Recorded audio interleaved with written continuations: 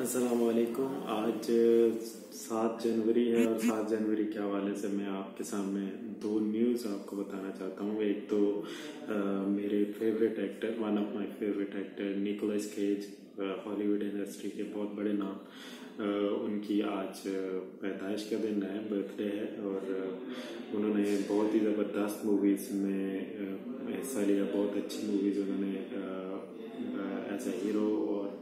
Sometimes as a villain के किरदार में अदा की इनमें से फेस ऑफ़ जो बहुत ज़बरदस्त मूवी है one of my favourite movies इसके अलावा लिविंग लॉस वेगस जिस पे उनको एकेडमी अवार्ड मिला, ये बहुत ज़बरदस्त मूवी है। इसके अलावा stolen gone in sixty seconds बहुत ज़्यादा वास्ट मूवीज़ हैं जो इन्होंने प्रोड्यूस की, लेकिन फेस ऑफ़ मैं हर किसी को रिकमेंड करता हूँ कि वो मूवी देखें। बहुत ज़बरदस्त मूवी है फेस ऑफ़ उस एरा की बात कर रहा हूँ नाइन्टीज़ के एरा में बहुत ज़बरदस्त मूवी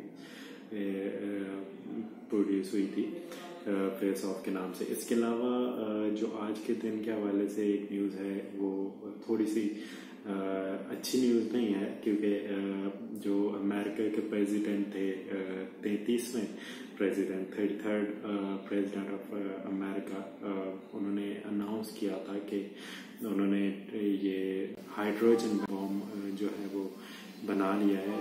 और ये बात है उन्नीस सौ चौवन की 1954 की ये बात है जब उन्होंने ये ये, ये अनाउंस किया था कि they have the technology of hydrogen bomb so so, आज के हवाले से यही न्यूज़ थी। Uh, मेरी तरफ़ से इजाज़त। अस्सलाम वालेकुम